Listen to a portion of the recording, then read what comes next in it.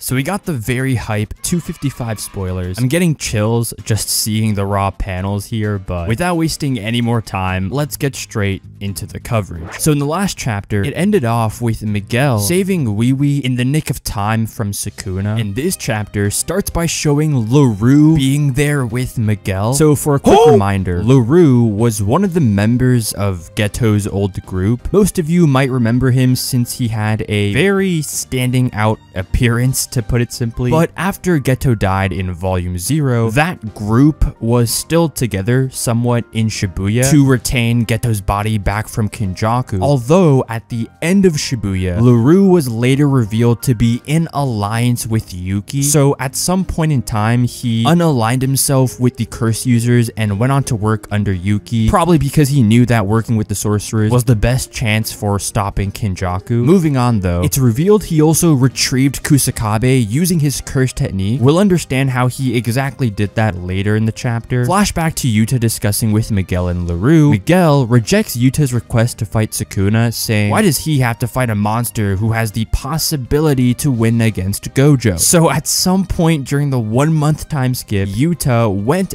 back to Africa to try and recruit Miguel to their defeat Sukuna plan. He likely did this with the help of Ui Ui's teleportation since we know that he can teleport country distances, teleporting from Japan to Malaysia once. But it further goes to show how much the crew prepared during the one month time skip. The plan we've been seeing right now has been super layered with backups and failsafes attached. So it's pretty impressive what they were able to come up with in just one month. But during the conversation between Yuta, LaRue, and Miguel, LaRue tries to convince Miguel saying, I'm just asking you to help us deliver the final blow to Sukuna who will be burnt out after fighting Gojo Satoru. Yuta and LaRue tries to convince Miguel by telling him that it's better to fight Sukuna rather than a giant cursed spirit, the Tengen merger, which could just stomp a whole country like Godzilla. But Miguel again declines their offer saying, why do you Japanese people think that cheerful black people will just survive anything? Miguel adds that Gojo should have came to him with his head down to request for help. Man, I actually can't wait for this chapter to get fully translated because Miguel's dialogues are pretty funny. Like there's another flashback panel that occurs later in the chapter and it just makes me wish Miguel was more prevalent in the story. LaRue and Miguel then had a private talk. Miguel says he did everything because he wanted to follow Geto. He also fulfilled his obligation of training Yuta since Gojo saved him, so he doesn't want to be involved with Japan anymore. Wow, so I think this is the first time we're hearing that Yuta was training under Miguel in Africa. To be honest, I wouldn't mind seeing an extra spin-off showing their entire trip in Africa. LaRue says, we fight with everything we have and tell Geto to take care in heaven. Miguel pauses for a moment, then says, first of all, he definitely went to hell. Bruh. Yeah, Miguel is definitely rising in the likable characters tier. Miguel says he has a condition. He will fight Sukuna after Gojo and Yuta loses and when Sukuna can't use his domain anymore. He also wants LaRue to join him to fight Sukuna because it's better if he has more friends. Back to the present, Miguel and LaRue notices that Sukuna can't use his domain, his reverse curse technique has been weakened, and his heart hasn't been healed yet. So only hitting one black flash, it's not enough to fix those problems. From what we saw with Gojo, according it works the same for Sukuna, you would have to hit at least one more black flash to regain the output on his reverse curse technique. Going into the action, LaRue uses his curse technique to grab hold of Sukuna and slams him to a wall. We'll get back to the explanation of his curse technique later as Sukuna sends slashes towards them, but Miguel easily ducks, dodges, and even jumps in between them. Oh my god, he is moving like Neo from the Matrix. This is insane. I was not expecting Miguel to be this strong and powerful, but as to how he's doing this, well, first it goes over LaRue. So the narrator explains that LaRue's curse technique, Heart Catch, can grab the subject via an imaginary hand. The imaginary hand will restore itself even if it's destroyed, but one-tenth of the damage will be redirected back to LaRue. So he can basically unleash a projectile of his own hand, and it's pretty big. So that's how he was able to retrieve Kusakabe from a far distance. It sort of reminds me of Jinichi's curse technique from the Zenin clan. And any damage that the hand receives, like let's say it runs hard into a wall, LaRue would only feel one-tenth of that damage since, you know, he's sort of connected with that projectile hand. Sukuna thinks LaRue's curse technique is no fun, but Miguel's curse technique is highlighted. His curse technique is called Hakuna Laana. It helps his body to catch a rhythm to dodge curses and enhance his physical abilities. Short flashback to Gojo explaining Miguel's curse technique to Yuta. Gojo says Miguel's curse technique brings out buffs and debuffs of himself and the opponent without using a domain expansion. Gojo adds that it's a pretty useful curse technique, but not really a scary one. So I guess that's how Miguel was able to eat up all the punches from Gojo. Assuming the translations are accurate, he could buff his physicals enough to the point where he can tank all those hits from Gojo without seriously getting damaged after. Even Gojo complimented how tough Miguel was. But of course, that's if you believe the movie was canon, which I'd say it is. And the whole thing of sensing the rhythm to dodge curses and attack, that's pretty crazy. Like he's literally doing that to dodge Sukuna's dismantles. It sort of reminds me of Maki's heightened heavenly restriction senses, though I don't know if it works to the exact same effect because he couldn't dodge any of Gojo's punches, but that could also be because Miguel's technique couldn't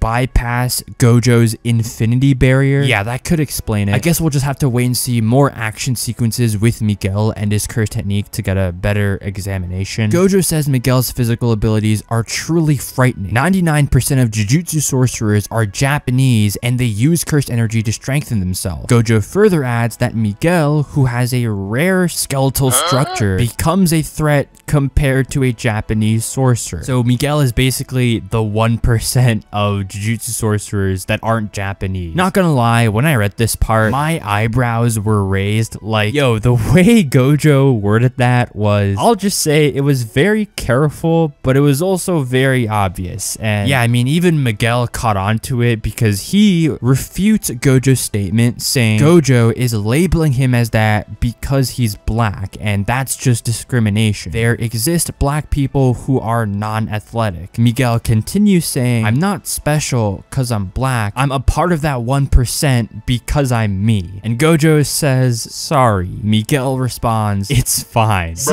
this is why I now wish for more Miguel screen time. It's it's crazy how one chapter can make you really like a character that, I'll be honest, I didn't really care about before. Like when Miguel appeared in the last chapter saving Ui Ui, in my head I was like, are you for real, Miguel? But after reading the spoilers and just reading his dialogues, I'm a fan. I'm all aboard the Miguel train. Back to the fight. Miguel grabs hold of Sukuna's arms and lands a heavy punch. Sukuna's back is hit with Choso's supernova. So Big Bro Choso's back, and if he's back, then that means Yuji rejoins the fight as well. He directly lands on Sukuna and slams him to the ground. The narrator explains that to activate the World Slash, Sukuna has to use the hand sign named Enmeton, which is also used for Malevolent Shrine. But since Sukuna was left with just one arm after Gojo's final Hollow Purple, he needed to use a Binding Vow to send the World Slash on Gojo without having the hand sign. So it's nice that Gege finally gives us the confirmation on that. Most people already knew this was going to be the case, but after transforming into his OG form, Sukuna now has to use both hand sign Enmeton and the incantations to activate the World Slash. On top of that, Sukuna also needs to set the direction for the slash with his hands. And the reason why the narrator is bringing this up now is because suddenly Sukuna's left arm gets sliced off as he was confronting Yuji. It was Maki who cut off Sukuna's arms and she does it with a crazed smile on her face. So Maki is back. I don't think anyone expected her to be out for the remainder of the fight. And for those who don't know, it wasn't Shoko who healed Maki, but it was Maki who who healed herself. Shown in the Sakurajima colony that she has a passive healing capability with her heavenly restriction. Sukuna is surprised to see Maki back even after receiving the black flash from him. Yuji proceeds to engage in fighting while thinking that Sukuna can't complete his hand sign since he's left with only two right arms and he can't use reverse curse technique yet either. So they can win the fight now.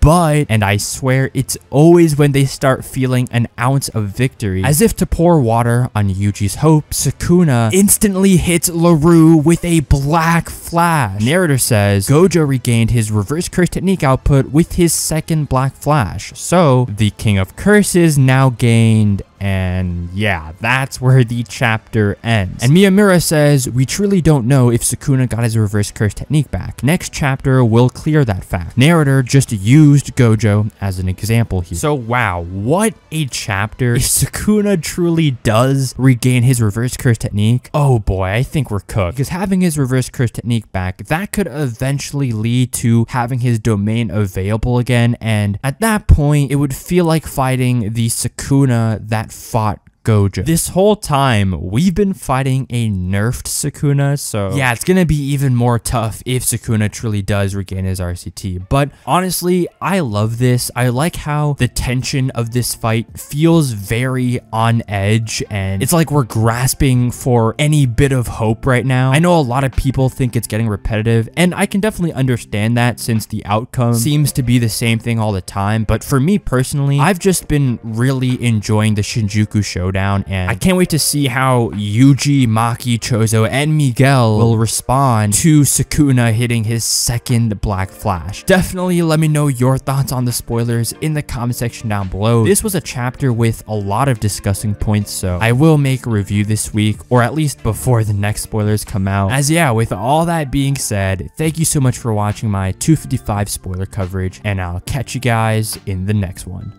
Peace. Bye.